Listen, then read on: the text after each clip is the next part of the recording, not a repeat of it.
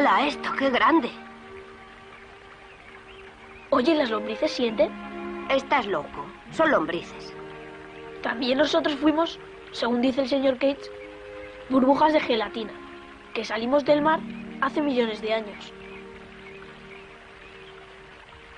Y luego, como 100 millones de años después de la muerte de los dinosaurios, vino la era glacial, que también se conoce como época P L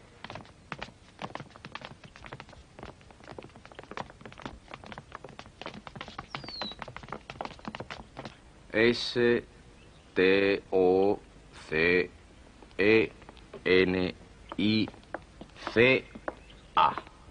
Eso es, pleistocénica. Época o era pleistocénica.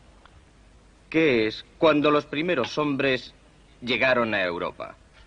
¿Y de dónde vienen esos hombres? ¿Cómo evolucionaron? Sabemos, estudiando los fósiles encontrados en África,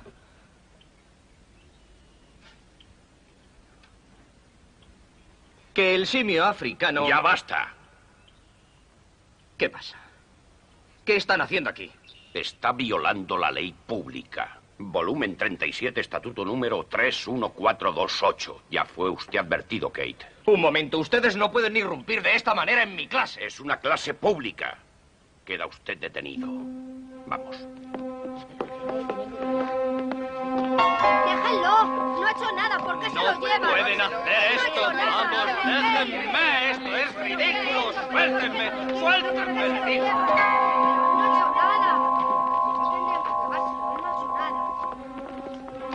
Esto es un colegio, es mi colegio. Mayor, Reverendo Brown no puede permitir esto. No puede. Suéltenme.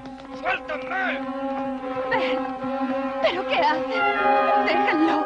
Quédate al margen de esto, Raquel. Vuelve a tu clase.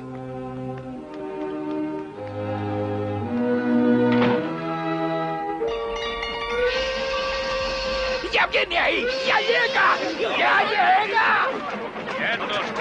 ¡Quietos! ¡Quédense todos ahí! ¡Ahí!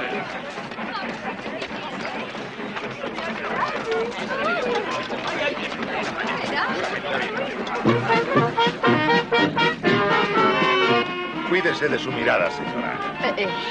Van ustedes a recibir al más poderoso de los poderosos, Matthew Harrison Brady. Un hombre que lleva por capa una catedral y por sombrero un arco de iglesia.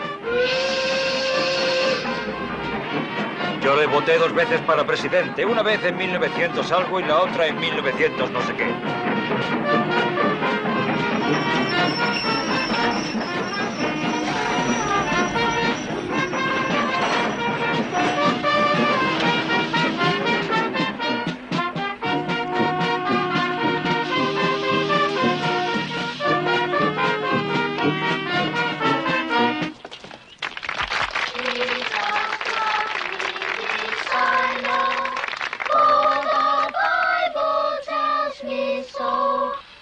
Bienvenido, señor Brady, a la ciudad de Hillsborough.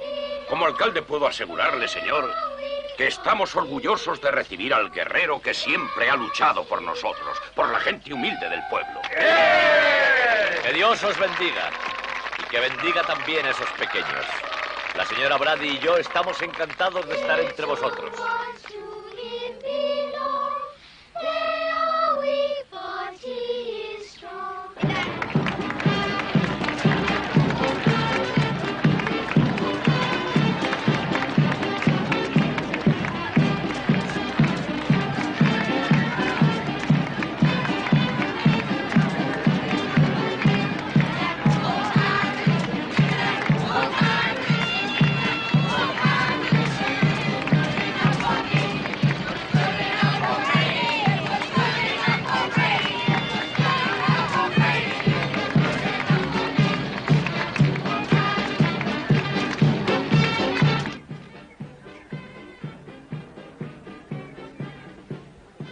Señor Maker.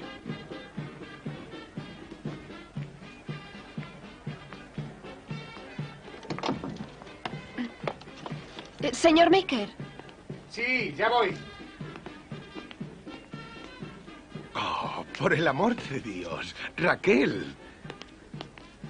No me digas que te vas ahora. El espectáculo está empezando. Señor Maker, por favor, no le diga a mi padre que he venido. El reverendo no me habla de sus cosas. No voy a ir yo a hablarle de las mías. Quiero ver a Bert. ¿Es posible?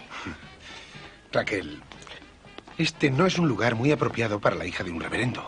Solo quiero verle un momentito. Bueno. Gracias, señor Maker. Vamos. La verdad es que es extraño ver en la cárcel a un maestro de escuela. Al menos mejorará las pintadas de las paredes. Creo que el mejor tipo que hemos encerrado aquí fue aquel de Minnesota. Aquel que mató a su mujer. Tuvimos que concederle la extradición. ¡Pasa!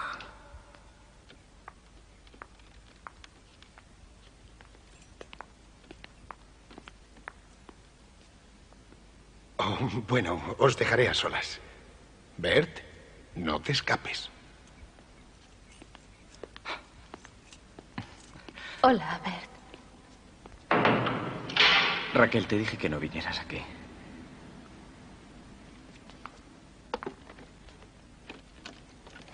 Pasé por tu casa y cogí algunas de tus cosas.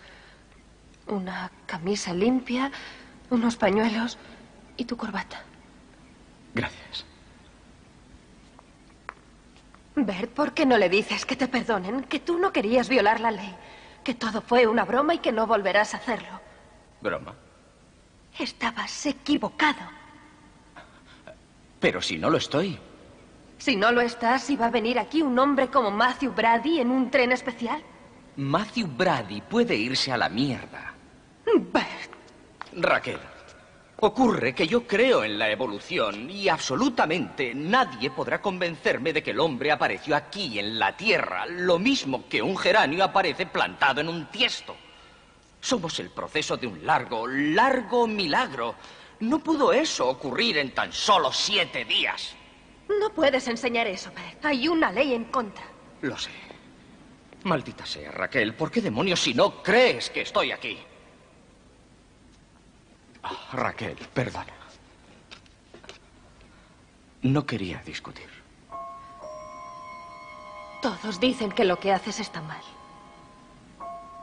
¿Sabes que el crepúsculo en los polos viene a durar seis meses largos? Nosotros no vivimos en el polo, vivimos en Hillsboro. Y cuando el sol se pone es de noche. ¿Por qué tienes que hacerlo diferente? ¿Por qué no te pones del lado de las cosas normales? ¿Del lado de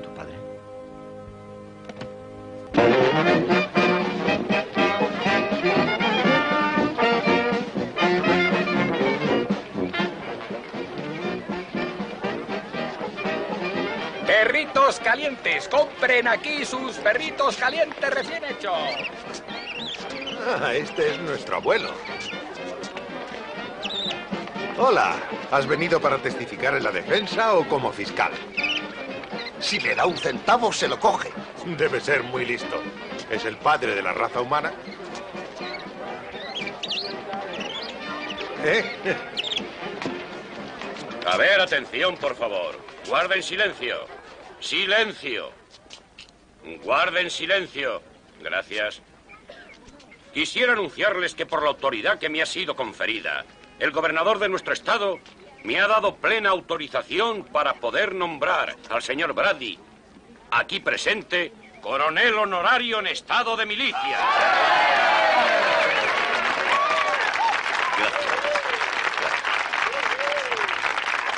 Amigos de Hillsboro, gracias a todos y a cada uno de vosotros. Y tengo una pequeña sorpresa para todos. Tal día como hoy, en 1892, me casé con esta maravillosa mujer que tengo a mi lado. Gracias. Gracias. Os quiero. Oh, Lucy, mira esto. Qué maravillosa sandía. Felicidades. Gracias. Gracias. Señor Brady, mi marido y yo votamos por usted dos veces. Gracias. No serían las mismas elecciones. Eh, señor Brady, eh, creo que no conoce al señor Davenport. Es nuestro fiscal local. Claro. Formaremos equipo. Bienvenido a bordo. Gracias, señor. ¿Es cierto que va a volver a presentarse para presidente? Ya no es ningún secreto, por lo visto. ¿Puedo tomar nota de eso, señor Brady? ¿Se presenta definitivamente? ¿Quién es usted? Hormer, del Boletín de Filadelfia. Me he ocupado de la mayoría de sus campañas, señor Brady. Esta vez el boletín nos envía dos para llevar este juicio. ¿A dos? Sí, señor. Al reportero más brillante de América, que soy yo, y a la mente legal más ágil y privilegiada de todo lo que va de siglo. ¿Quién es? Henry Drummond. El que consiguió la absolución de unos infanticidas. Negando la evidencia.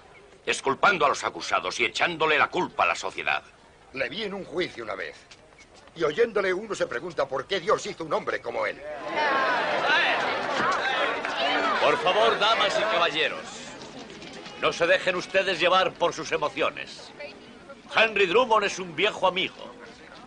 Será un valioso y brillante adversario. Le doy la bienvenida. ¿La bienvenida? El enemigo ha enviado a su Goliat para competir. Esto solo podrá engrandecer nuestra causa. Gracias, hijo.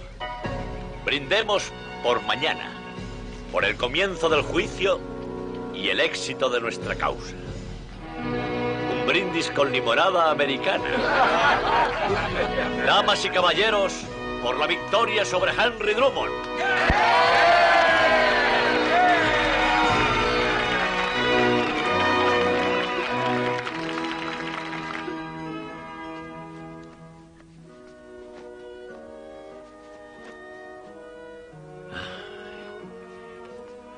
Día, Lucy!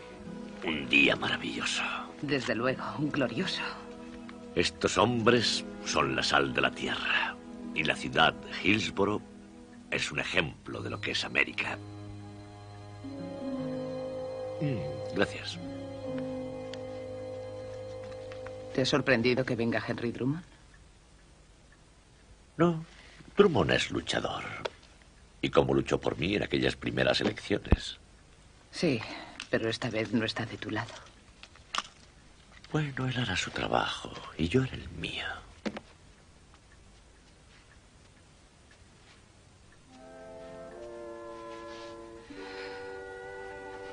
Señor Brady, no sabes cuánto te quiero. Lucy, sigues estando exactamente igual que aquella mañana en que te vi en el campus universitario. ¿Te acuerdas del sombrero blanco que llevabas? Le estoy muy agradecido. Si no se te hubiera volado, yo no hubiera ido por él. Y no nos habríamos conocido. Lo hubiéramos hecho. ¿Mm? En realidad no salió volando. Lucy, después de 32 años. Feliz aniversario.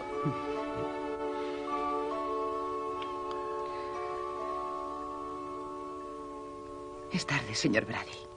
Vamos a la cama.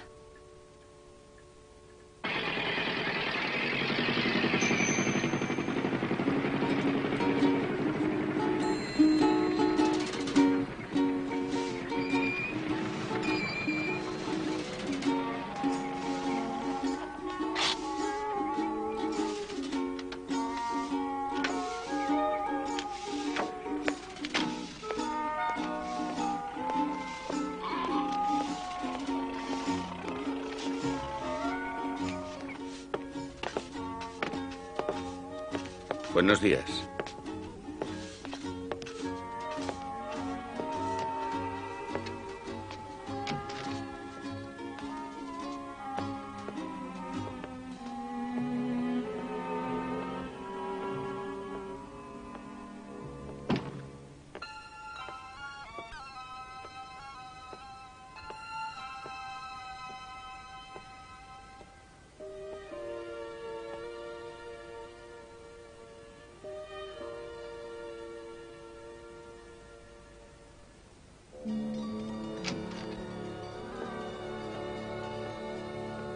¿Inspeccionando el campo de batalla?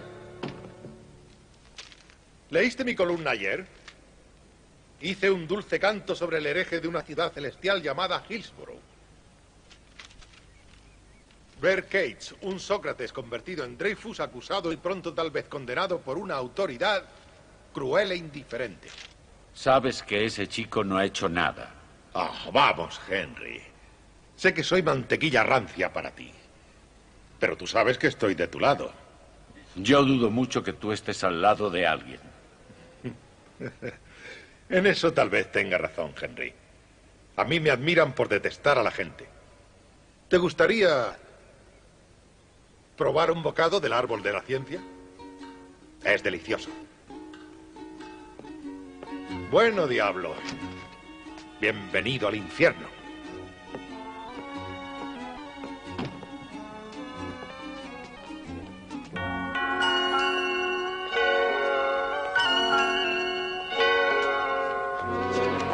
Favor, amigos, vayan andando junto a la pared para dejar el pasillo despejado. Gracias. Vas a pasar, Ed. No te preocupes, hay sitio para todos. Nunca había visto tanta gente. A la gente le gustan muy poco los juicios. ¿Va usted a la iglesia, señor Bannister? Si se refiere a los domingos, sí, señor. Ah. Es suficiente para la acusación, señor, y aceptamos a este hombre como miembro del jurado. Eh, un momento, señor Bannister. No se retire aún. No, no, solo iba a ocupar mi sitio en el banco del jurado. Sujete a sus caballos, Bannister. Aún no lo ha conseguido.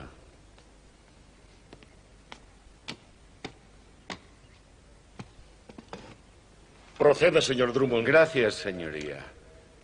Señor Bannister, ¿por qué tiene tanto interés en ocupar ese sitio? Bueno, todos dicen que esto va a ser un espectáculo. Sí, eso he oído. ¿Ha leído alguna vez algo sobre evolución? No. ¿Y sobre un tal Charles Darwin? Eh, pues eh, yo creo que no. Pero sí la Biblia. No. Ah, ¿no? No sé leer. Oh, es usted afortunado. Se acepta. Ocupe usted un asiento.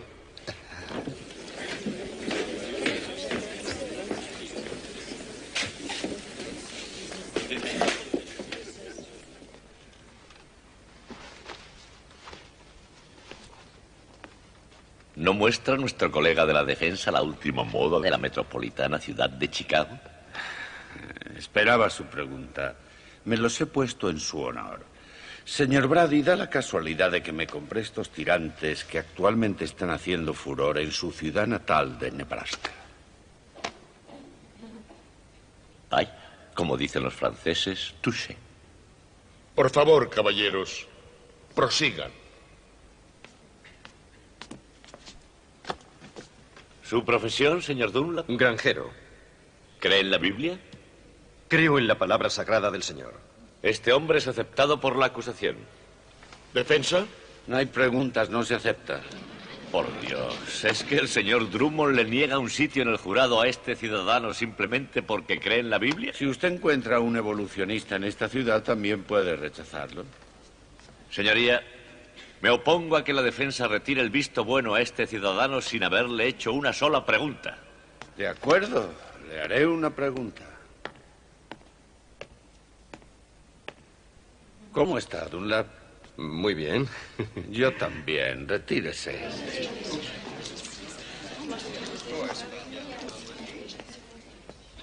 Ya lo ha oído, señor Dunlap. Puede retirarse. Señoría, yo puedo apreciar un chiste como cualquiera, pero quiero hacer notar que el tono de frivolidad que el defensor imprime a este procedimiento me parece degradante. Este tribunal está de acuerdo con usted, coronel Brady. Gracias. Coronel Brady, ¿puedo preguntar por qué razón le da ese título? No estaba familiarizado con la carrera militar del señor Brady. El señor Brady ha sido recientemente nombrado coronel honorario en estado de milicia. Oh, el uso de ese título durante el proceso perjudicaría a mi cliente. Se vería como perseguido por un coronel con todas las fuerzas de la justicia en contra. ¿Y qué es lo que sugiere? Bueno, puede degradarlo. Hágale soldado. No tendría ninguna objeción contra el soldado Brady.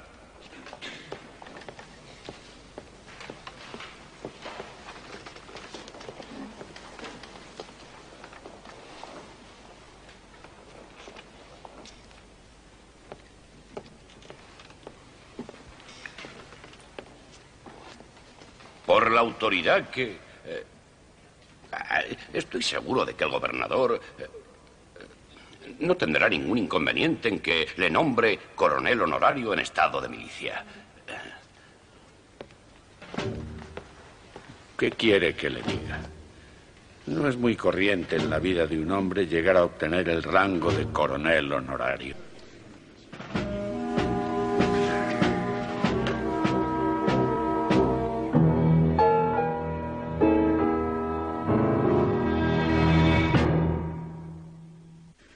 ¿Nombre y profesión, señor? George Sillers, empleado en la tienda de semillas. ¿Se considera un hombre religioso? Tan religioso como pueda serlo cualquier otro. En Hillsborough, señor, eso ya es mucho. ¿Tiene usted hijos? No que yo sepa. Si usted tuviera un hijo, señor Sillers, ¿qué pensaría si su hijo volviera a casa del colegio y le dijera que su profesor insiste en que, sin lugar a dudas, todos procedemos de un gorila? Protesto. Estamos seleccionando a los miembros del jurado. La acusación denuncia al demandado sin ni siquiera haber empezado el juicio. Protesta aceptada. El señor Sillers parece un hombre honrado. Lo acepto. Gracias, coronel Brady. Coronel Drummond. Señor, acaba de decirnos que es un hombre religioso. ¿Se ocupa usted mucho de lo religioso? Bueno, realmente estoy muy ocupado en la tienda. Mi mujer eh, es la que suele ocuparse de eso por los dos. En otras palabras, usted se ocupa de esta vida y su mujer de la futura. Protesto. Protesta aceptada.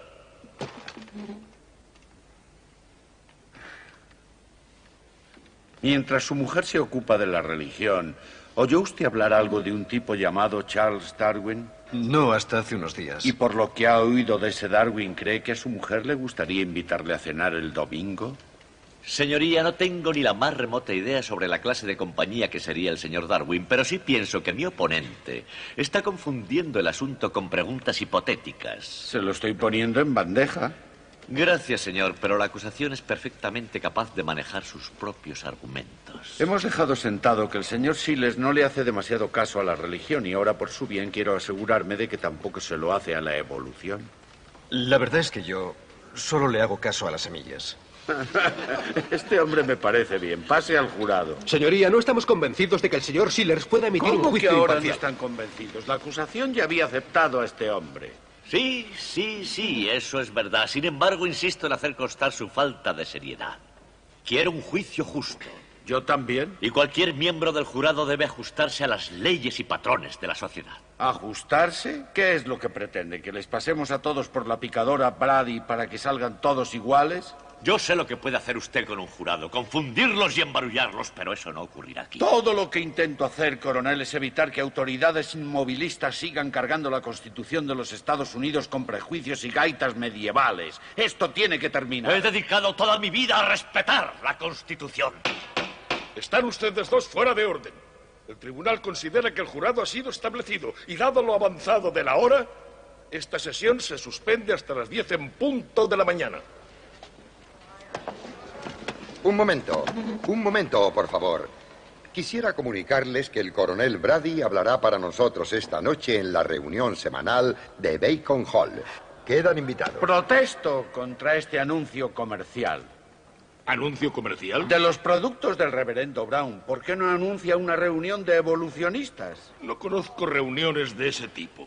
Claro, y es muy comprensible. Sobre todo cuando el que entra en esta sala tiene que pasar bajo un lema que dice lee la Biblia todos los días. Quiero que quiten ese lema. O en su lugar quiero que pongan otro igual de grande con las mismas letras que diga lea Darwin todos los días. Eso es absurdo. Naturalmente. Y usted está fuera de orden. Esta vista está aplazada. Enhorabuena, le está dando un baño. Gracias, gracias, Enhorabuena. gracias. Dios os quiere, Dios os bendice, Dios os bendice. Gracias, gracias.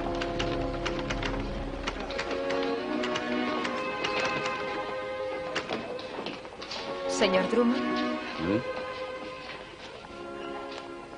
por favor, tiene usted que acabar con esto. Aún no es tarde. Si Ver admite que lo que hizo está mal, todo esto acabará. Todo volverá a ser como antes. ¿Quién es usted? Soy una amiga de Ver. ¿Quiere abandonar? Sí. Puedo cambiarlo, sí.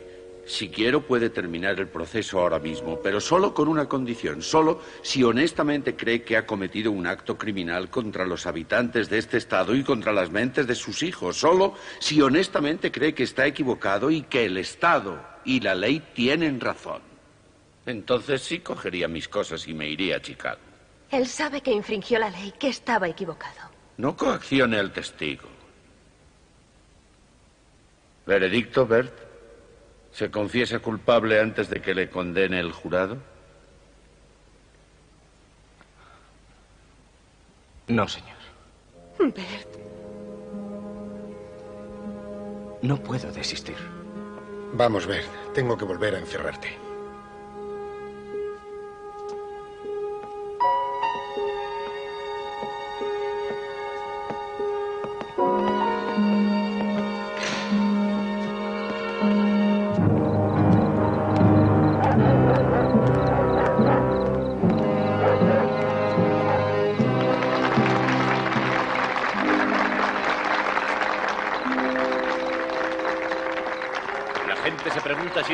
Debería celebrarse en una pequeña ciudad como Hillsborough. Yo os digo que el hombre más importante que jamás pisó la faz de la tierra nació en una pequeña aldea. Esa aldea se llamaba Belén.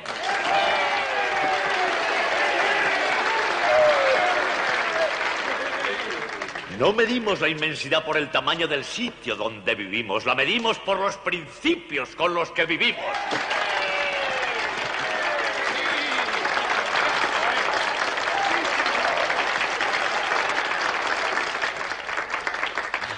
Queridos amigos. Ayer, durante esa grata acogida que nos dispensasteis a Lucy y a mí, nos ofrecieron santía. Mm, deliciosa. No pude dejar de pensar en la sandía durante toda la noche. Ya sé, ya sé que ahora os estaréis preguntando, pero bueno, ¿este hombre de qué nos habla? Queridos amigos, os estoy hablando de la gloria de la creación del Señor. Un verde lustroso por fuera y dentro del verde un lecho blanco y dentro de ese blanco un corazón rojo. Y salpicadas dentro de ese corazón rojo unas semillas negras que una a una deberán alcanzar diez mil veces su propio tamaño para construir otra sandía opulenta. ¿Quién concibió el plan para que esas semillas hicieran ese milagro? ¿Quién? Hasta que los científicos de este mundo no expliquen el proceso de una sandía, que nadie se atreva a cuestionar el poder del Todopoderoso.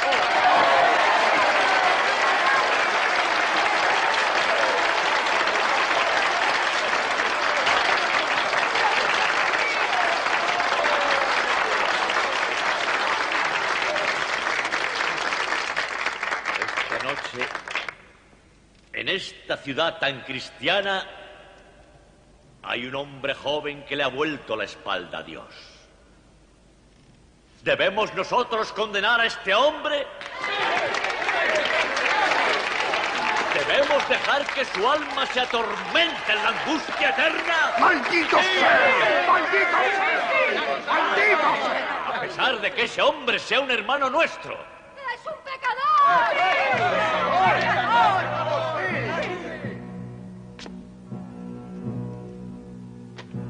No, no, amigos míos. No destruyamos lo que aún tenemos esperanza de salvar. Recordad la sabiduría de Salomón en el libro de los Proverbios. Quien perturbe su propia casa será heredero del viento. Perdonad. Perdonad a ese joven. Dejad que el amor de nuestro Salvador entre hoy en su corazón y destierre de él esos demonios que lo están destruyendo. Porque te amamos, Ben Te amamos, te amamos.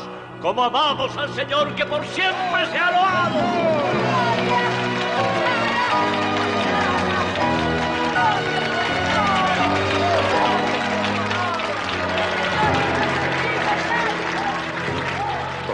y sus palabras han sido verdaderamente una inspiración.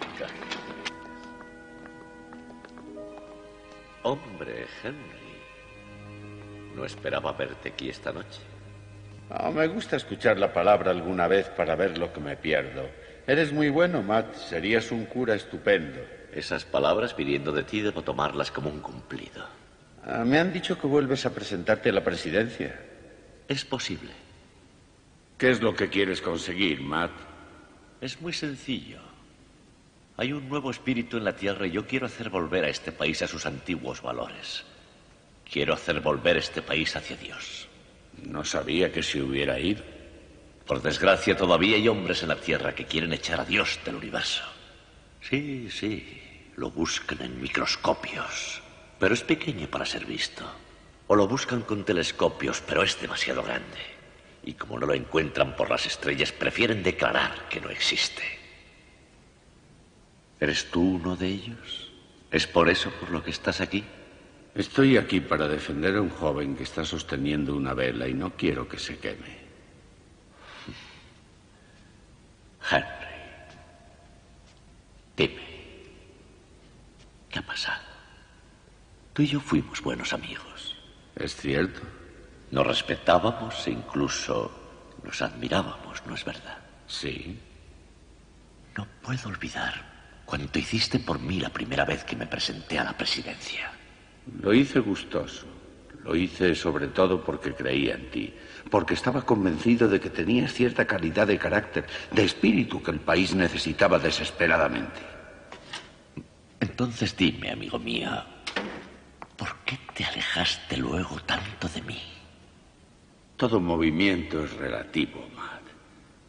Quizá fuiste tú el que te alejaste, ¿no te lo has preguntado? Matt.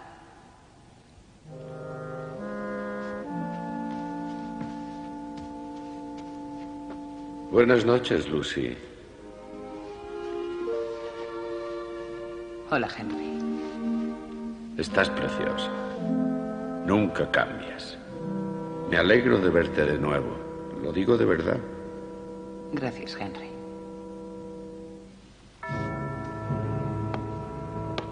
Henry. Algún día, no sé cómo, haré que vuelvas al Señor. El Señor te ama, quiere tu vuelta.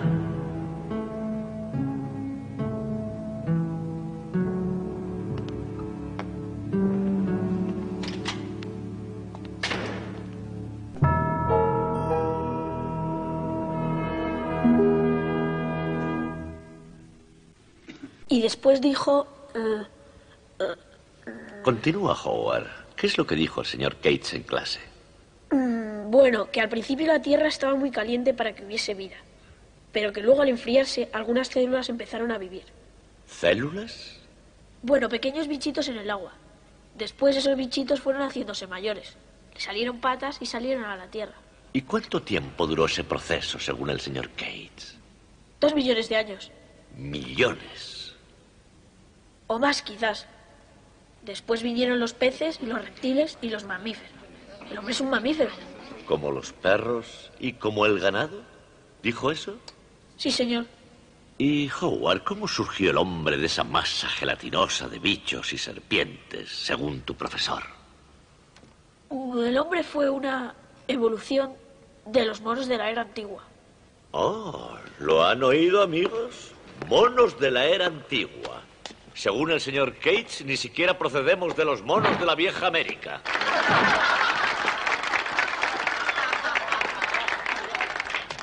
Ahora, escúchame atentamente.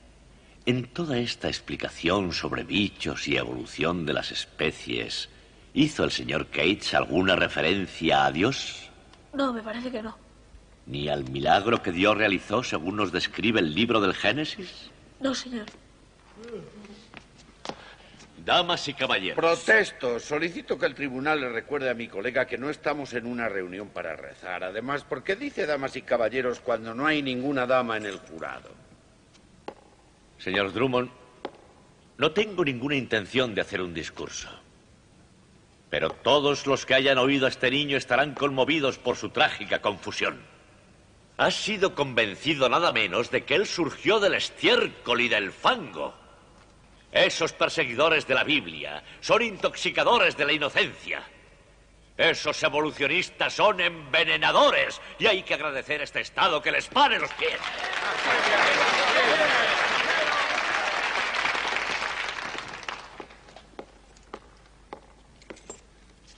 Debo agradecer que el coronel no haya hecho un discurso. Howard, ¿has dicho que la Tierra estaba muy caliente? El señor Cates lo leyó de un libro. ¿Conoces ese libro? Yo supongo que es el que escribió Darwin. ¿Crees que hay algo de malo en ello? No lo sé. Protesto. La defensa está pidiendo a un niño de 13 años que dé una opinión sobre una cuestión de moralidad. Señoría, solo estoy intentando demostrar que Howard o el señor Brady o Charles Darwin o cualquier otra persona de la sala o usted, señor, tiene derecho a pensar. No se está juzgando el derecho a pensar. Con todos mis respetos hacia el tribunal, yo sostengo que sí se juzga el derecho a pensar, derecho que realmente está en peligro con el procedimiento de esta sala. Juzgamos a un hombre. Un hombre pensante que está amenazado con ir a prisión por el simple hecho de estar decidido a decir lo que piensa. Coronel Drummond, formule su pregunta de otra forma. Sí, señor. Pongámoslo de esta forma. Howard, ¿toda esa explicación sobre la evolución eh, fue nociva para ti? Señor. ¿Te acarreó algún mal? ¿Sigues encontrándote bien? Eh, lo que el señor Cates te explicó hizo que luego jugaras peor al béisbol. ¿Te respondió este brazo? Sí, señor, pero soy zurdo. Zurdo, ¿eh? ¿Sigues respetando a tus padres? Claro. ¿No has matado a nadie desde el desayuno? Protesto. Protesta admitida. Una vez más, el señor Drummond pretende tomar a broma este proceso. ¿Por qué no le pregunta al niño si su fe ha sido dañada? Cuando necesite su valiosa ayuda, señor Brady, puede estar usted seguro de que humildemente se la pediré. Eh, dime, Howard, ¿crees todo lo que dijo el señor Cates? No lo sé. Aún tengo que pensarlo. Bien hablado. Tu padre es granjero, ¿no? Sí, señor. ¿Tienes tractor? Y nuevo. ¿Tu tractor es motivo de pecado porque no se menciona en la Biblia? No lo sé. Moisés nunca llamó por teléfono. ¿Tú crees que el teléfono es un instrumento del diablo? Nunca lo consideré así. Ni nadie lo considera así, Howard. Miembros del jurado, la defensa está cometiendo el mismo error de todos los que no creen en Dios confundiendo las cosas materiales con el mensaje espiritual de la Biblia. ¿Por qué quiere desconcertar a este muchacho? ¿Para usted no significa nada la razón? Si tengo en cuenta que la razón puede perjudicar a mi cliente, debo decir que la razón no justifica nada para nadie. No me sorprende. La verdad tiene sentido cuando es objetiva. Pero una de las mayores atrocidades de nuestro tiempo es ponerse control de moralidad en el comportamiento humano para que cada acción del hombre sea medida dentro de las coordenadas del bien y del mal, en grados, minutos y segundos exactos. Hijo, ¿tú tienes idea de lo que estoy hablando? No, señor. Ya lo comprenderás algún día. Eso es todo, hijo. Gracias. El testigo puede retirarse. Howard, ya no te necesitamos más. Puedes volver con tu padre.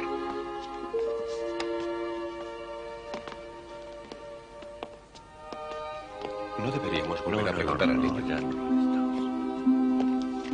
¿Desea la acusación la presencia de algún otro testigo? No, señoría. De momento no. Sí, señor. Claro, claro. No hay nada en contra. Puede pasar. Después de todo, es su abogado. Ya.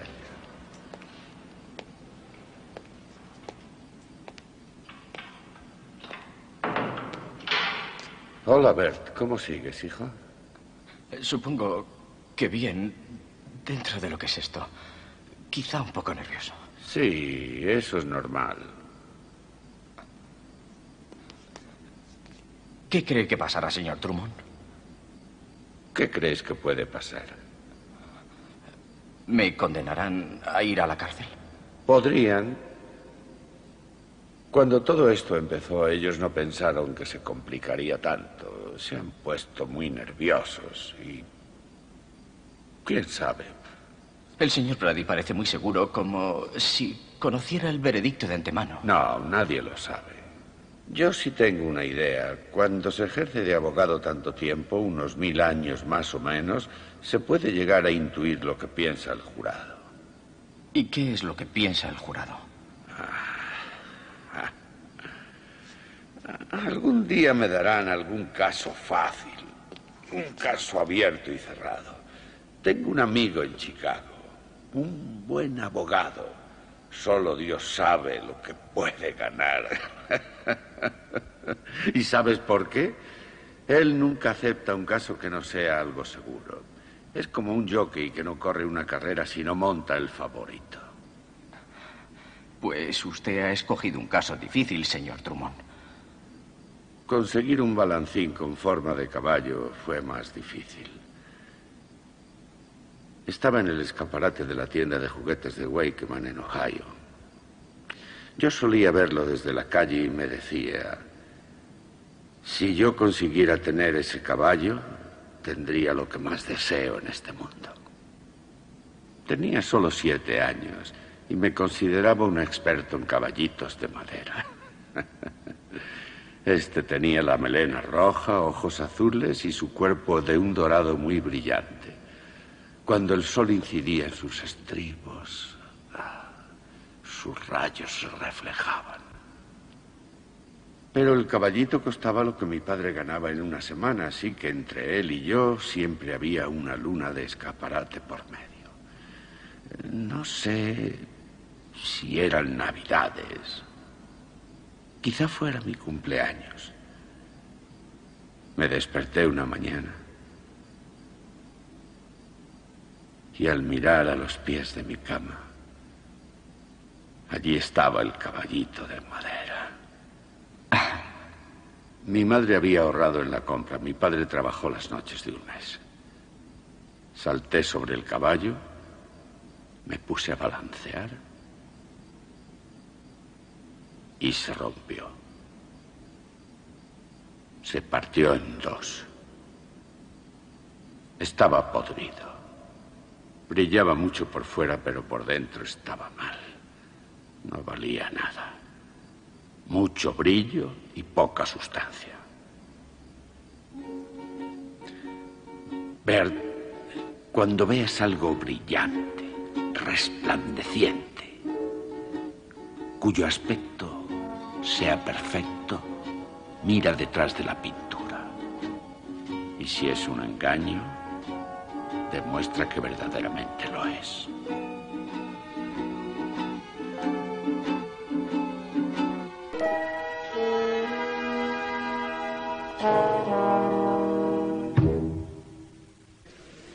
Caballeros, se concede la palabra a la defensa. Coronel Drummond. Eh, señoría, llamo a declarar al doctor Amos D. Keller, jefe del Departamento de Zoología de la Universidad de Chicago. Protesto. ¿Por qué razón? ¿Qué relevancia puede tener el testimonio de un profesor de zoología en este juicio? Una relevancia absoluta. Mi cliente está siendo juzgado por enseñar la teoría de la evolución. Cualquier testimonio relacionado con el supuesto delito que aquí se juzga debe ser escuchado. Irrelevante, inadmisible, insostenible. ¿Por qué? Si a mi cliente Bertrand Cates se le juzgara por asesinato, ¿sería irrelevante llamar a un perito en materia de armas? ¿Rechazaría usted el testimonio de que el arma presentada como prueba no pudo disparar ninguna bala? No entiendo qué relación tiene una cosa con otra. Señoría, simplemente pretendemos que el doctor Keller explique al jurado lo que significa exactamente la teoría de la evolución. Porque ¿cómo van a juzgar algo que ni siquiera conocen? Ellos conocen muy bien la ley de este Estado. No necesitan expertos que les expliquen nada. El letrado no puede intentar derrocar la ley porque no esté de acuerdo con ella. El tribunal considera que no hay lugar para la zoología. De acuerdo. Llamo entonces al doctor Allen Page, decano de la Iglesia Congregacional y profesor de Geología de la Universidad de Oberlin. Protesta. Protesta aceptada. Por el amor de Dios, ¿pretenden negar la existencia de la zoología y de la geología? No, no negamos la existencia de esas ciencias, pero no tienen relación con el presente caso. Entonces llamo a Walter Aronson, filósofo, antropólogo, escritor, una de las mentes más brillantes de nuestros días. ¿También protesta, coronel Brady? Protesto, coronel Drummond. Señoría, la defensa ha traído a Hillsborough con gran dispendio y dificultad a los científicos mencionados, los grandes pensadores de nuestro tiempo. Su testimonio es básico para la defensa de mi cliente. Intento demostrar ante este tribunal que lo que Bert Cates explicó en el colegio no es un delito, que es una teoría tan exacta como pueda serlo la geometría en cualquier comunidad que se precie. El lenguaje de la ley es claro y no necesitamos expertos que argumenten nada sobre la validez de una ley que tenemos escrita.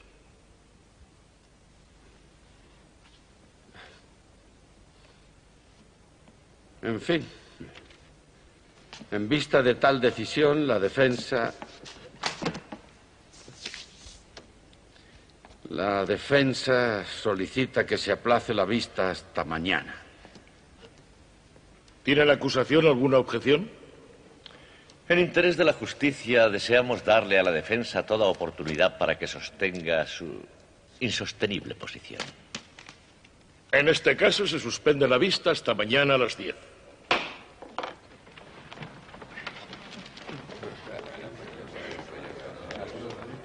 Enhorabuena.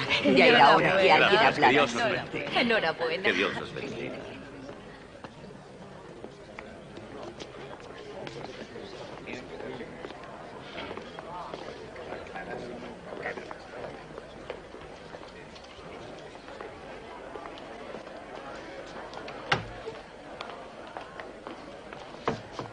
Raquel, te dije que no te metieras en esto. Puede perjudicarte.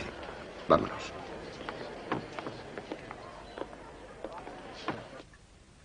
Aquellos que solo intenten salvar su vida la perderán. Pero en cambio, aquellos que perdieran su vida por mí la ganarán para siempre. Porque nada ganaría un hombre que consiguiera el mundo entero si luego, sin embargo, perdiera su alma. Amén. Ah, sí, sí. Lo he sentido, Lucy. Hoy he sentido al Espíritu Santo alrededor de mí en esa sala, guiándome. La justicia de Dios caerá sobre ese hombre. No seas muy severo en tu juicio, Matt. No seré yo, ni el tribunal, ni el jurado. Será el propio juicio de Dios contra él. Cuando el jurado oiga, Voy yo, querida.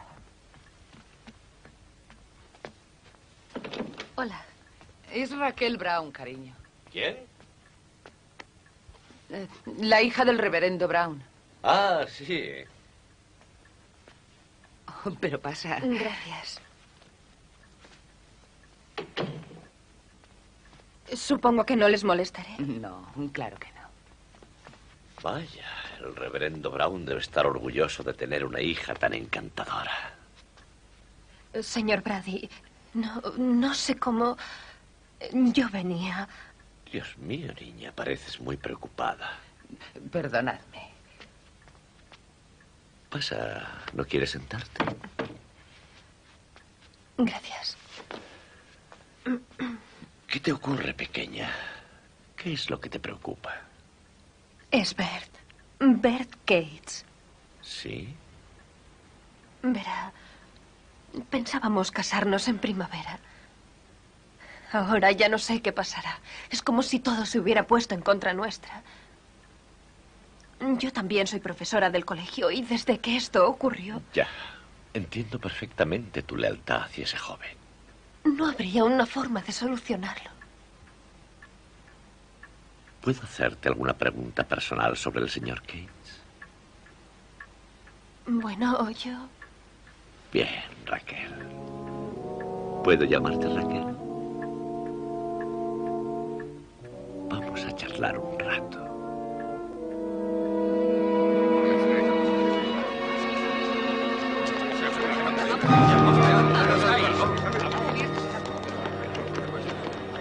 Les dije a ustedes que no estaba permitida la radio, al menos hasta que se sepa el veredicto.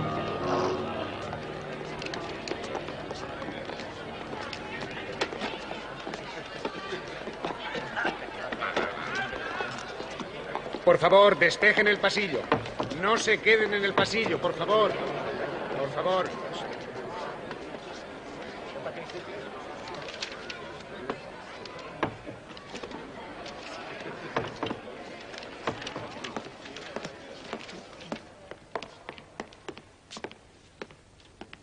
Pie. Se abre la sesión. El Estado contra Bertram Cates. Pueden sentarse. Coronel Brady, ¿desea la acusación llamar a algún testigo? Sí, señoría. Quisiera llamar al señor Elston Hart. Señoría, nos acaban de comunicar que el señor Hubs, director del Colegio Público de Hillsborough, está quejado de un fuerte resfriado. Nos reservamos el derecho de volver a llamarlo. ¿Algún otro testigo en su lugar? Coronel Brady. Quisiera llamar a la señorita Raquel Brown.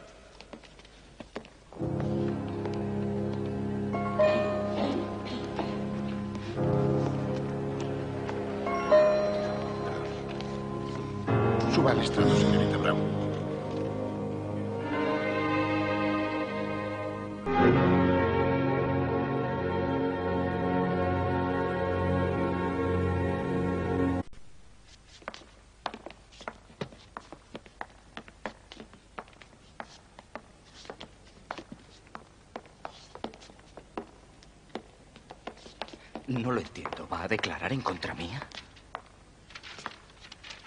Levante la mano derecha, por favor. ¿Jura decir la verdad, toda la verdad y nada más que la verdad? Lo juro. Siéntese. Señorita Brown, ¿es usted profesora del Colegio Público de Hillsborough? Sí. Entonces habrá tenido la oportunidad de conocer al acusado, el señor Gates, profesionalmente. Sí. ¿Van usted y el señor Gates a la misma iglesia? No, ya no. Ver dejó de ir hace dos veranos. ¿Por qué? Señor Brady, eso se lo conté a usted en privado. Responda a la pregunta, señorita. Le he preguntado por qué Bertrand dejó de ir a la iglesia. Por. Por el niño de los Stevens. Señorita, cuéntenos qué sucedió con ese niño.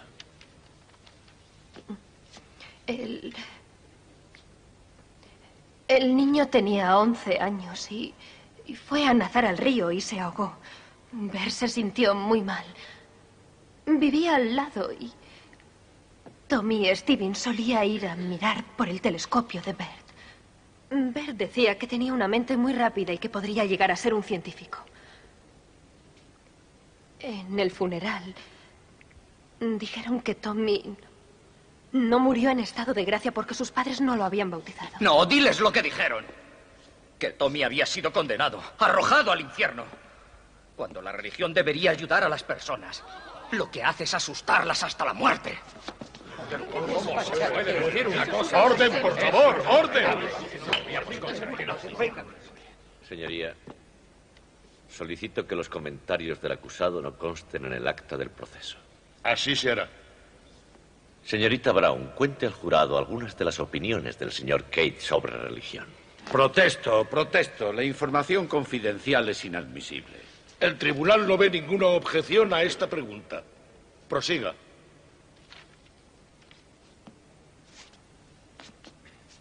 Cuéntenos con sus propias palabras algunas de las conversaciones que mantuvo con el acusado. No recuerdo exactamente.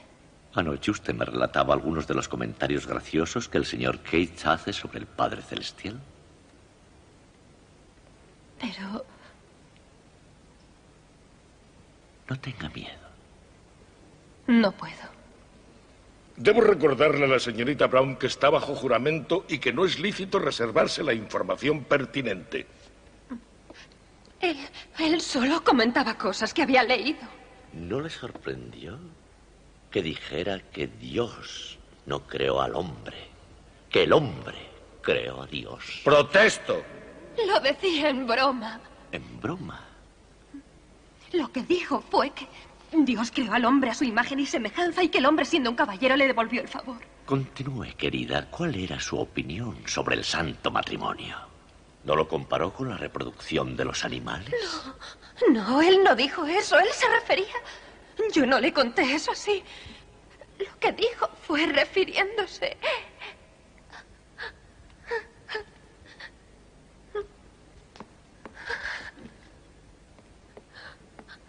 Beba un poco, señorita Brown. Señoría, considero que la testigo debería retirarse. ¿Y no tendrá oportunidad la defensa de cuestionar la declaración que la acusación ha obtenido de la testigo? No. Deje que se vaya. No habrá preguntas, señoría. La testigo puede retirarse.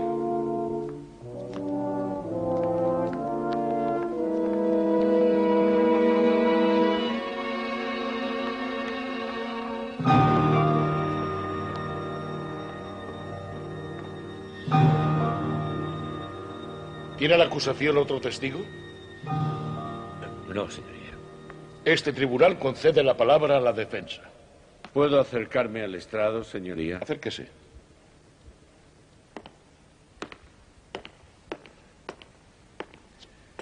Señoría, he pasado mucho tiempo desde ayer dando vueltas a la cuestión de la admisión en este juicio de expertos científicos. Eh, lo siento, eso ya no es asunto de este tribunal. Aquí tenemos, en el caso de Thomas Brackford en Nueva Jersey en 1917. Ya se lo he dicho, señor Drummond. Este tribunal no escuchará de ninguna manera el testimonio de esos expertos. En otras palabras, el tribunal tiene decidido que no quiere oír nada sobre el origen de las especies o el origen del hombre de Darwin. Esa es la decisión de este tribunal.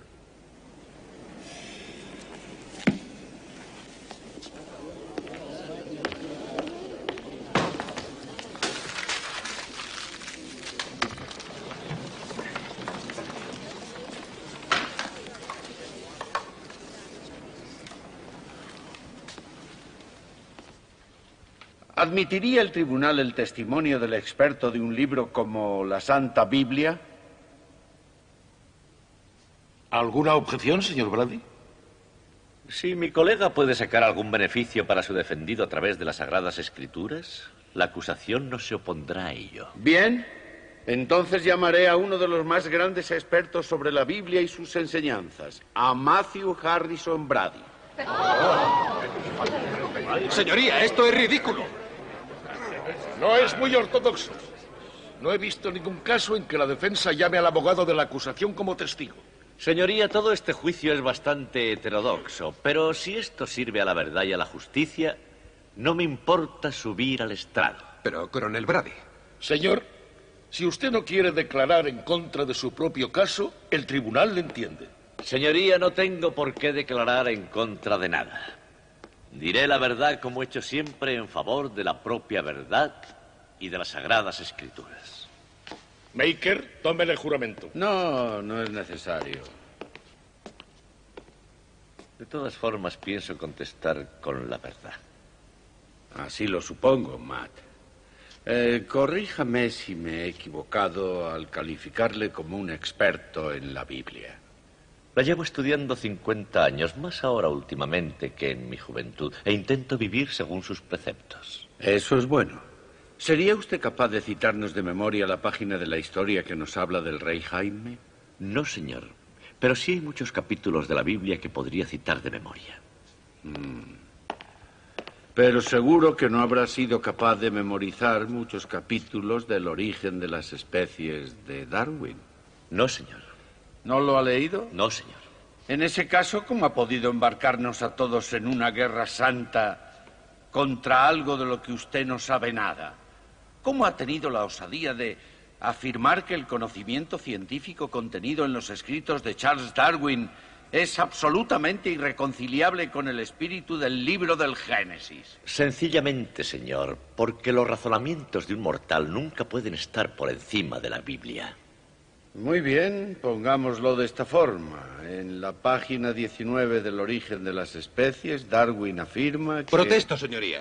El señor Brady ha sido requerido como un experto en la Biblia. Si es así, que se atenga únicamente a ella. Delimitará sus preguntas a la Santa Biblia. De acuerdo. Aquí hay que cogerlas al vuelo.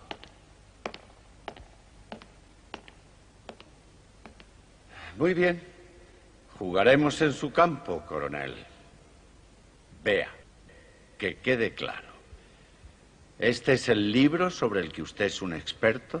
Lo leo todos los días. Y considera que todo lo escrito en este libro debe ser interpretado literalmente, ¿verdad? Por supuesto.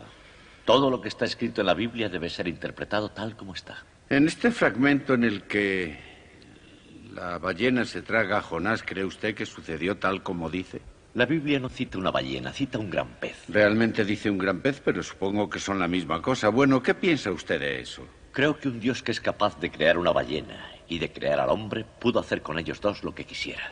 Amén. Que consten todos esos amenes en el acta.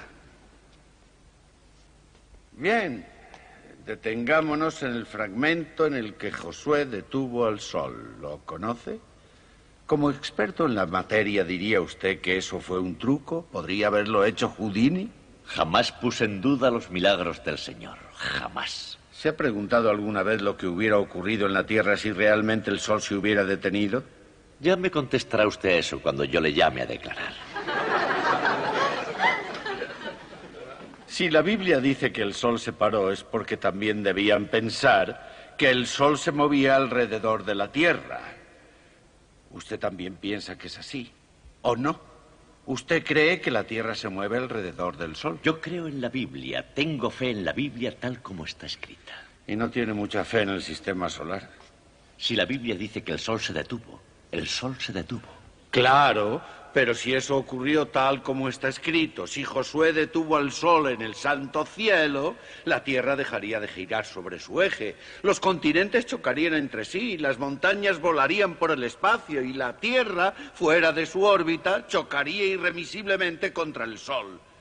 Diga, ¿cómo pudieron pasar por alto todo eso? ¿Qué por qué? Porque eso nunca pasó. Eso habría tenido que ocurrir según la ley natural, ¿o no cree usted en la ley natural?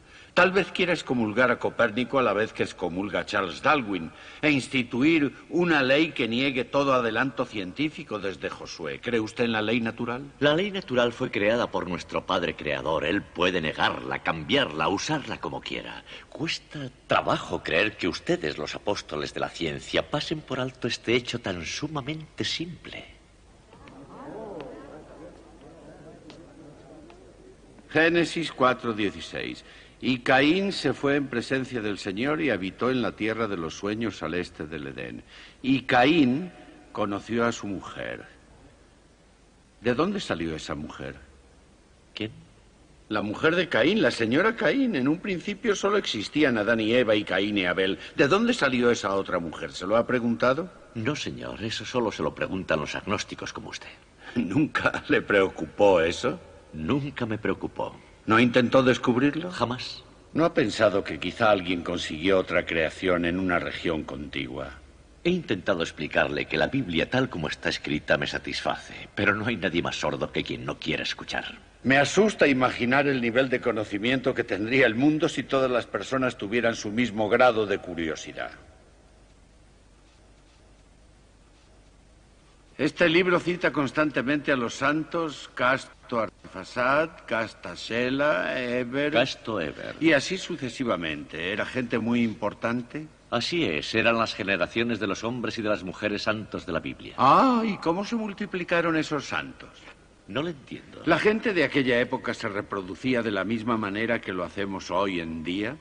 El proceso era el mismo. No creo que sus científicos lo hayan mejorado. Ah. En otras palabras, eran concebidos y traídos al mundo a través de la función normal biológica denominada sexo. ¿Qué opina del sexo, coronel? ¿Con qué espíritu me hace esa pregunta? No le pregunto sobre el sexo como padre o marido o candidato a la presidencia. Usted está aquí como experto en la Biblia. ¿Cuál es la evaluación bíblica del sexo? Es considerado como el pecado original. Oh, así que todas esas generaciones de hombres santos fueron concebidas a través del pecado original y ese mm, pecado no les hizo ser menos santos. Coronel Drummond, me veo en la obligación de preguntarle qué tiene que ver todo esto con el caso contra Bertram Ketch. Señoría, usted ha rechazado a todos mis testigos. Debe permitirme interrogar al único que puedo interrogar a mi manera. Señoría, deseo ofrecer al señor Drummond las máximas oportunidades. Sabemos lo que busca. Su único propósito es condenar la religión. Pero yo la defiendo. Déjenle que haga todas las preguntas que quiera. ¿Qué mejor ocasión para defender la palabra de Dios en contra del gran ateísmo que amenaza a los Estados Unidos? Permítanle que muestre su desprecio. Estoy viendo que quiere defender este caso negando todo lo que es sagrado. Protesto y protesto. ¿Pero por qué? ¿Es que puede existir algo sagrado para usted? Es decir, para un agnóstico? Sí, el individuo, su mente humana. En la capacidad de un niño para recitar la tabla de multiplicar hay más santidad que en todos sus amenes, sus glorias y sus hosanas. Una idea es un monumento mucho más grande que una catedral y el avance del conocimiento es un milagro muchísimo mayor que cualquier otro milagro de los suyos. Señores, es que la marcha del progreso debe detenerse porque el reverendo Brady nos amenace con sus parábolas de la Biblia. Caballeros, el progreso nunca fue una ganga. Hay que pagar por él. A veces pienso que debería haber alguien detrás de un mostrador que nos dijera, de acuerdo, usted puede tener un teléfono, pero prescindirá de su intimidad, del encanto de la distancia. Señora, puede usted votar, pero al precio de igualarse al hombre tendrá usted que trabajar como él. Caballero, puede usted volar, pero los pájaros perderán su encanto y las nubes olerán a gasolina. Darwin nos transportó a la cima de una colina desde donde poder contemplar nuestra procedencia.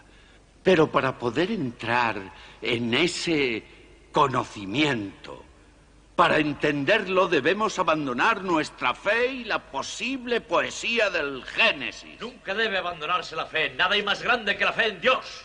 Entonces, Dios, ¿por qué nos dio la facultad de pensar? ¿Por qué intenta usted negar la facultad que nos diferencia de las demás criaturas de nuestro planeta? El poder servirnos de la razón. ¿Qué otro mérito poseemos? El elefante es más grande, el caballo más fuerte, más rápido, la mariposa más bella, el mosquito más prolífero. Incluso la simple esponja es más duradera.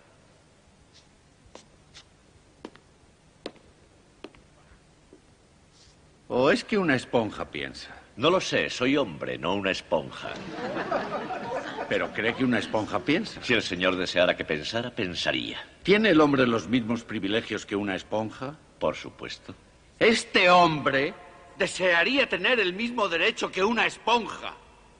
El derecho a pensar. Deberá volver a la palabra de Dios. Su cliente, señor, está equivocado, confundido, descaminado. Es una lástima que no todos tengamos un positivo conocimiento sobre el bien y el mal, señor Brady. No es el mío, no es el mío, es el de Dios. Ah, claro, usted habla con él de vez en cuando, se me había olvidado.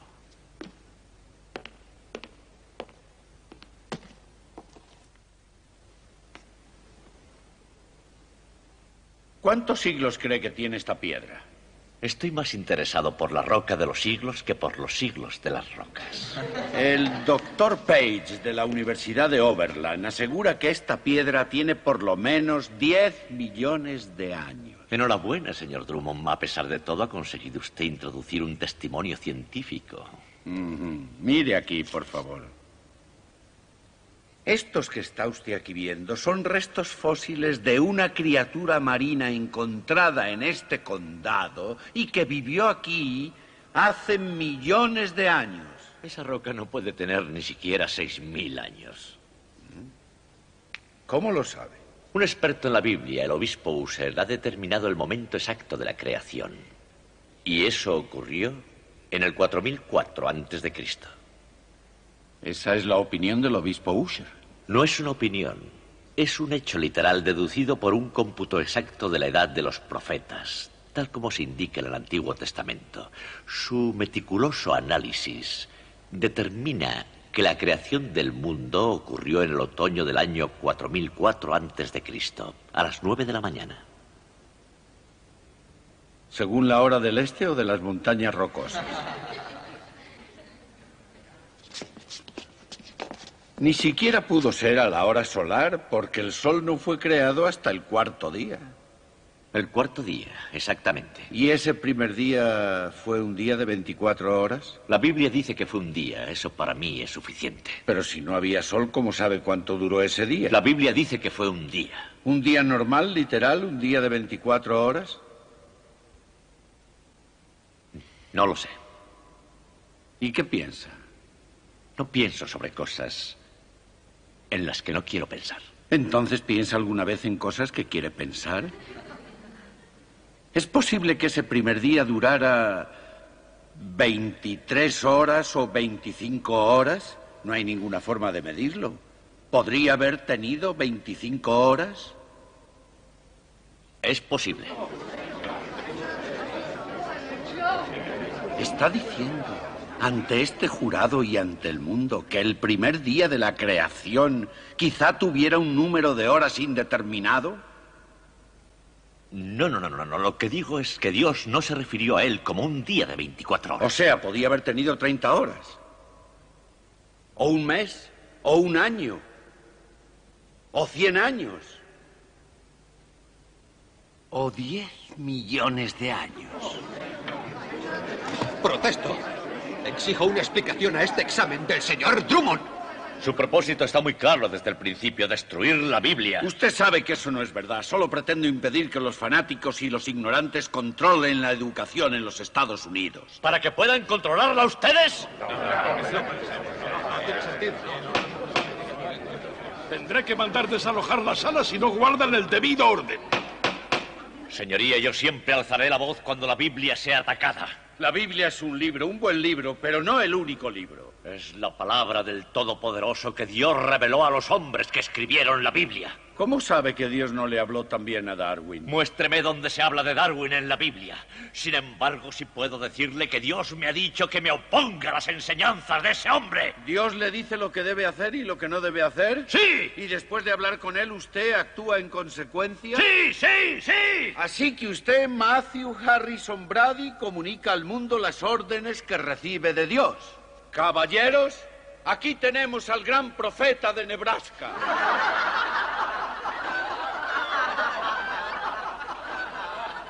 ¿Qué pasaría si un hombre inferior como Keats o Darwin fueran tan osados de creer que Dios también se había comunicado con ellos? De creer que una mente que no es la de Brady también puede ser santa. ¿Deberían esos hombres ir por eso a la cárcel? ¿Por el hecho de autodenominarse profetas? Que se amplíen los testamentos. Gocemos del libro de Brady. Destruyamos el Pentateuco e introduzcamos los pensamientos del profeta Brady. No haré más preguntas. Usted sabe lo que yo creo. Conoce mis principios. Puede retirarse, coronel Brady. Yo. Yo creo, sí. Yo creo en el, en el libro del Génesis. Esto completa la declaración. El testigo puede retirarse. Sacerdotes, Josué, Ruth. Se levanta la sesión hasta mañana a las 10 de la mañana. Jueces, Isaías, Ezequiel, Zacarías, los primeros reyes, los segundos Señoría, quisiera reyes. rogarle que no conste nada de esto en el acta. Isaías, Jeremías, Lamentaciones, Ezequiel, los primeros reyes, Isaías, Daniel, José, Amós, Jonás, Zacarías, Malaquías. Vamos, cariño, vamos a casa. Ben- Bendito sea el que sigue los pasos del Señor. Matthew, se acabó. Los incrédulos perecerán. Él es mi camino. Imploro su nombre. El Señor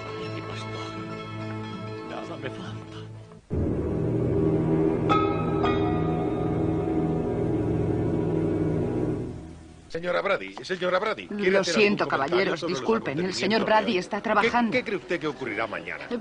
Podrán hablar ¿Algún con él por la mañana. Disculpen. Lo siento. Señora, esta es la edición de la noche. Creo que le parecerá interesante. Salude a su marido de mi parte, por favor.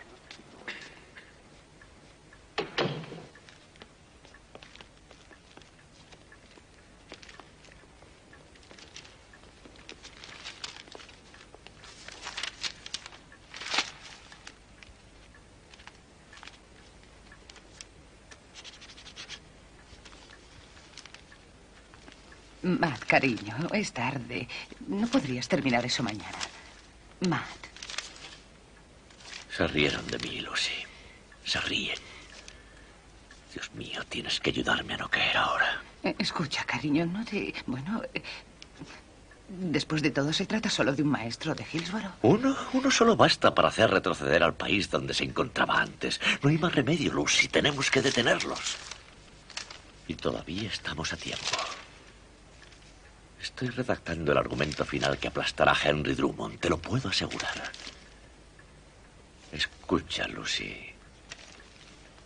La religión no es contraria al conocimiento, pero debemos permitir que el conocimiento destierre la fe de nuestros estudiantes. Muy bien enfocado, cariño. Muy bien enfocado. El Señor guía mi mano. Siento la fuerza de un león.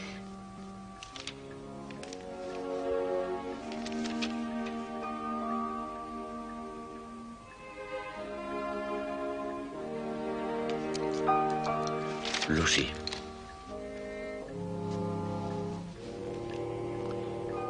Quiero que sepas una cosa.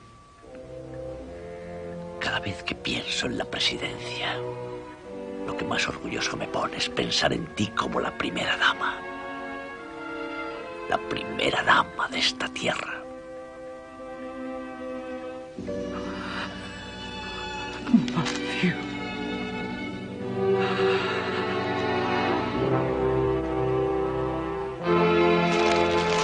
Profeta caído.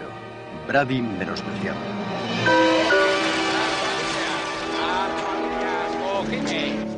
Escúchame, Merle. Anoche recibí diez llamadas de teléfono. En el Capitolio no gusta nada el cariz que está tomando este asunto. Quieren que esto termine de una vez. Lo siento, pero no es así como funciona el sistema judicial.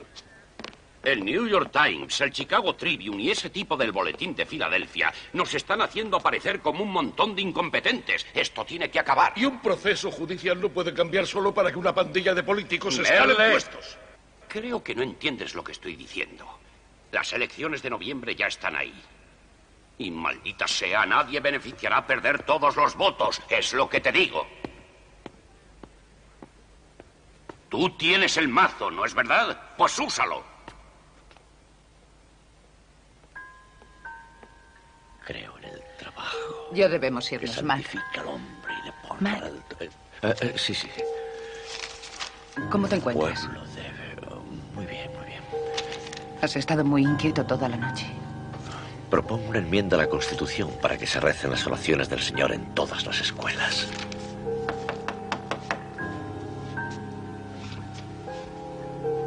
Buenos días. Buenos días.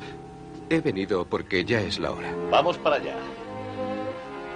He estado pensando que quizá yo podría decir primero unas palabras para ir preparando el... Yo me ocuparé de todo. Lo tengo todo aquí, señor Davenport. Lucy. Estoy aquí, cariño. Ah, yo también estoy, gracias a Dios. ¿Qué es eso? Señor Drummond, le hemos hecho una conexión directa desde esta sala hasta Chicago. Radiaremos el veredicto en cuanto se sepa. Dios mío, eso va a derribar muchas paredes. No debería nombrar a Dios en la radio. ¿Por qué diablos no? Tampoco debería citar al diablo.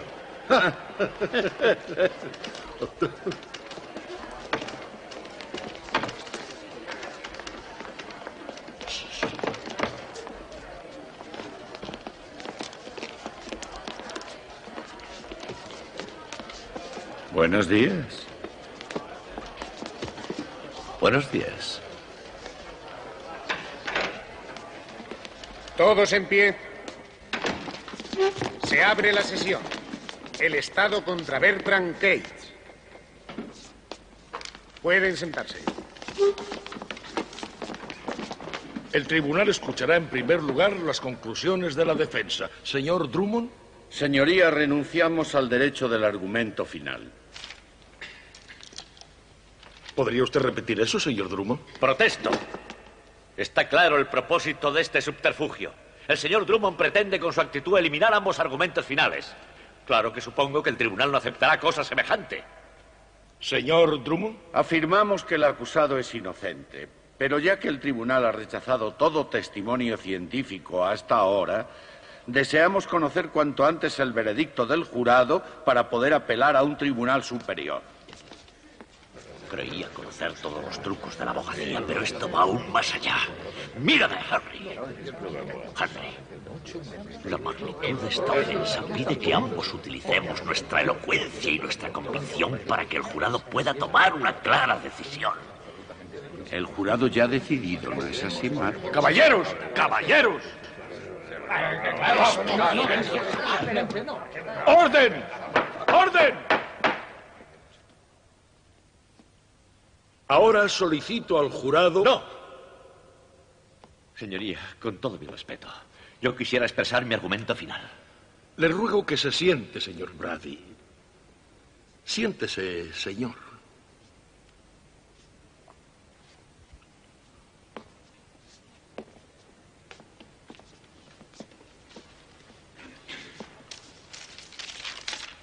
Ahora solicito al jurado que se retire a deliberar y nos haga saber su decisión sobre si el acusado ha infringido la ley que prohíbe la enseñanza de cualquier teoría que suponga la negación de la creación divina del hombre.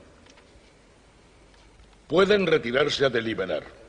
Señoría, debo decir unas palabras en relación a este proceso. El tribunal le concederá la oportunidad de expresarlo más tarde, señor Brady. Se levanta la sesión.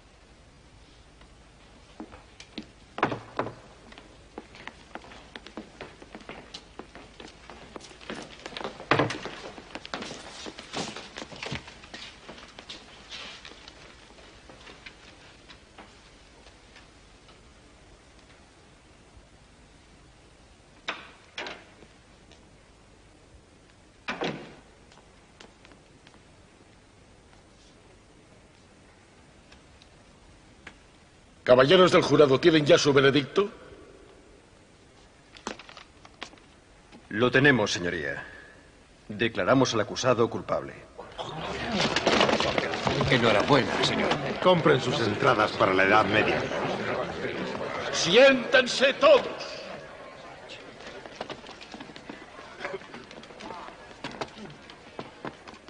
Señor Cates, póngase en pie.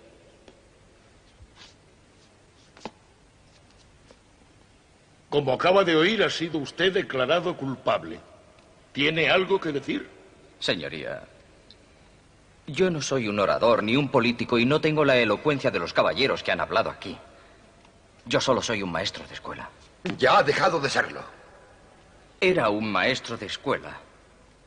Y siento que... Creo que he sido acusado por una ley injusta y continuaré en el futuro, como en el pasado he hecho, oponiéndome a esta ley en la medida de mis fuerzas.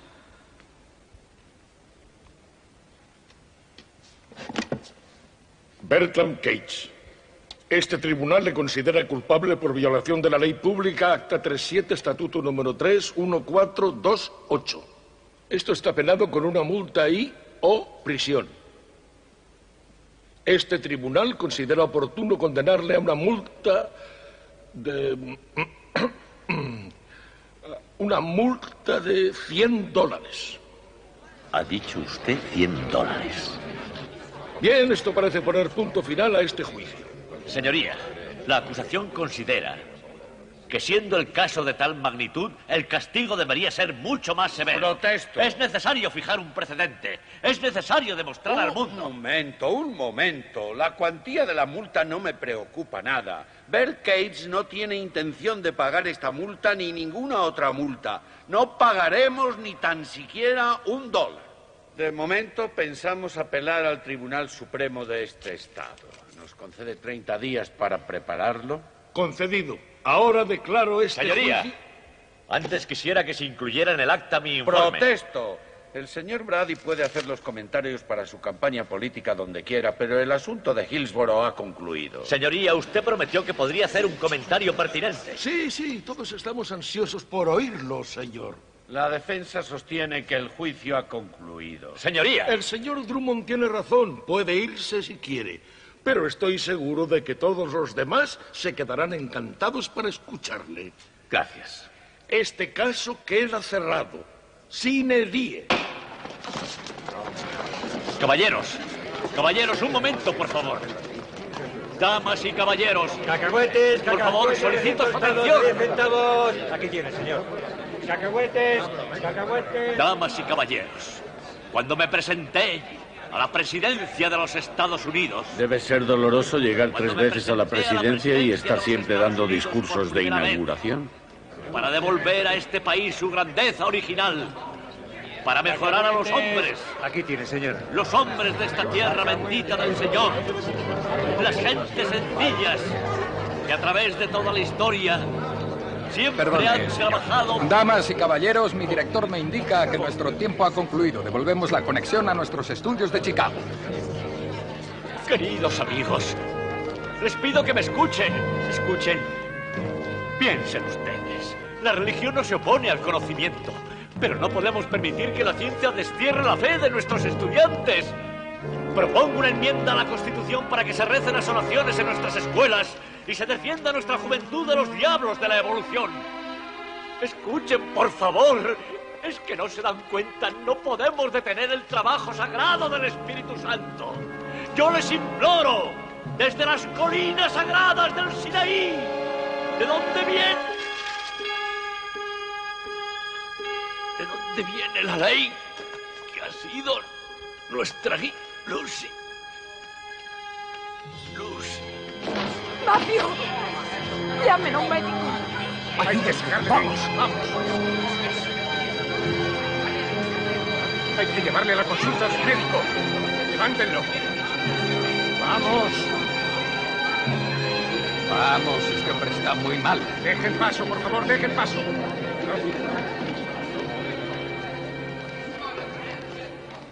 Su cara era terrible. Se pondrá bien. Denle un par de horas y el volcán Brady volverá a hacer erupción una vez más. ¿Cómo se siente, joven? Eh, no lo sé. ¿He ganado o he perdido? Millones de personas dirán que has ganado. Leerán en el periódico de la noche que por fin aplastaste una ley mala. Sí. Pero ¿qué pasará ahora? Tú crees que esto aún no ha terminado, ¿verdad? Mañana alguien que ocupe tu lugar se sentirá ayudado con tu ejemplo para seguir adelante.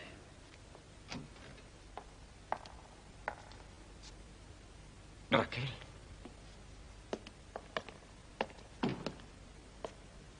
Hola, Bert.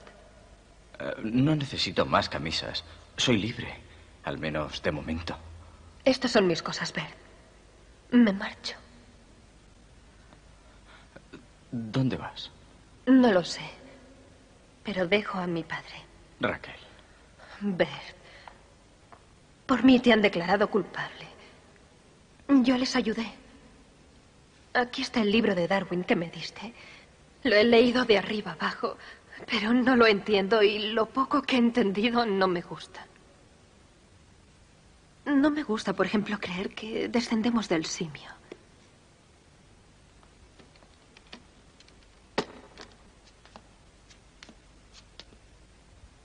Señor Drummond, espero no haber dicho nada que le haya ofendido. La verdad es que no he pensado demasiado. Siempre me dio mucho miedo pensar. Es más cómodo no plantearse nada. Tal vez Lo que Darwin escribió está mal. Pero mal o bien, las ideas deben expresarse. Deben ser escuchadas. Y no debe haber leyes en contra de ellas.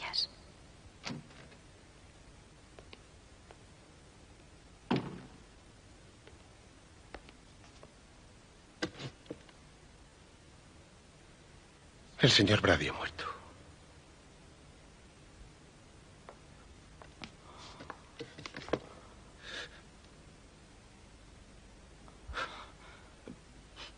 ¿Cómo, cómo ha muerto? Un ataque al corazón. No creo que debamos sentirlo. Él ya lloró bastante para sí. Yo lo definiría como un fanático de la Biblia. Eres un gusano. No tienes derecho a escupir en su religión por muy contrario que seas a ella, o en mi religión, o en mi falta de ella. Bueno, ¿qué les parece? Henry Drummond defiende incluso a sus enemigos. Hubo mucha grandeza en ese ¿Cómo hombre. escribirías tú su esquela? Pon lo que te parezca. Dime, ¿cómo escribirías la esquela de alguien que ya llevaba 30 años muerto? ¿Qué dirías? ¿Qué? Oh, sí, sí, sí, sí, ya sé, ya sé. Eh, ¿Cómo era eso? Ese fragmento que citó de los proverbios. Aquel que perturbe su propia casa será heredero del viento. Y los necios serán los sirvientes de los sabios de corazón. Bien. Bien. Este año tendremos buena cosecha de agnósticos, ¿eh? Estoy empezando a estar harto de ti, Hornbeck. Nunca pones un sustantivo al lado de un verbo si no es para destruir algo. Buen truco de la abogacía, acusar al acusador. ¿De qué me acusas a mí? Te acuso de exceso de conciencia, de perjurio y de exceso de sentimentalismo en primer grado. ¿Por qué? ¿Porque me niego a rechazar las creencias religiosas de un hombre? Te diré una cosa, que Brady tenía el mismo derecho que Bert, el derecho a equivocarse. ¿A dónde quieres ir?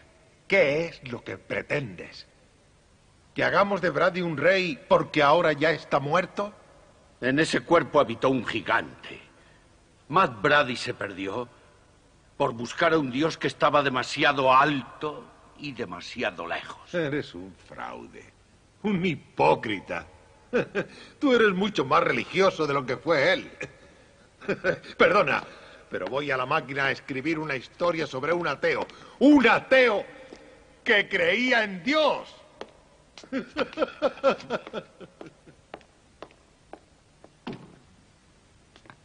Coronel Drummond. A ver, renuncio a mi cargo en estado de milicia. Cuelgo mi espada. ¿Cuánto nos costará la apelación? No puedo pagarle mucho. No vine para que me pagaran. Creo que hoy mismo me volveré a Chicago. Bert, nosotros también podríamos irnos. Hay un tren a las cinco y cuarto. Podríamos cogerlo. Voy por mis cosas. Te ayudaré.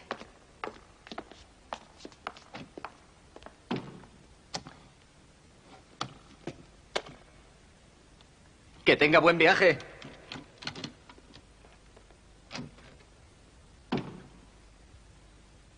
Oye, te olvida.